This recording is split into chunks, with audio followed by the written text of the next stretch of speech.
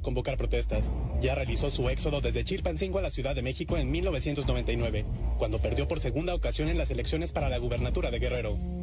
Andrés Manuel López Obrador, entonces presidente del PRD, le tomó protesta como gobernador moral ante el presunto fraude que denunciaban. Comienza la insurgencia ciudadana, cívica, en contra de la imposición.